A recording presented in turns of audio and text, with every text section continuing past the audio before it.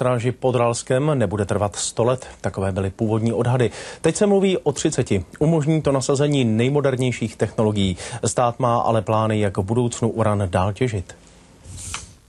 4,5 milionu tun kyseliny sírové a jiných chemikálií. Pozůstatek po chemické těžbě uranu. Jezero Žíravin a je důleží v podzemí těsně vedle zásobárny pitné vody. Případné kontaminaci brání složitá soustava vrtů a potrubí. Sanaci celého území usnadní nový závod. Stát bude přes miliardu korun. Bude největší sanační technologií, která výraznou mírou posune sanaci chemické těžby. Bez ní bychom to dělali přibližně 100 let, s ní to budeme dělat asi tak 30 let. Sice je to na dlouhou trať, ale je to asi nejvýznamnější krok k tomu, aby skutečně k odstranění došlo. Je to podzemní jezero a nemá to ve světě obdoby. Takto v zalidněné oblasti s zásobárnou pitné vody to nikde na světě nebylo uděláno, pouze tady.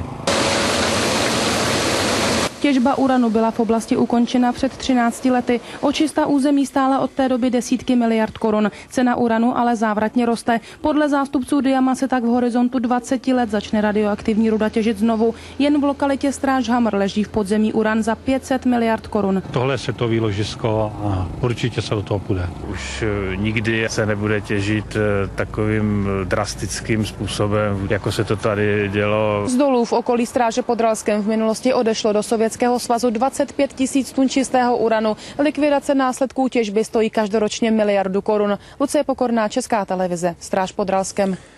Divadla na zábradlí a v dlouhé budou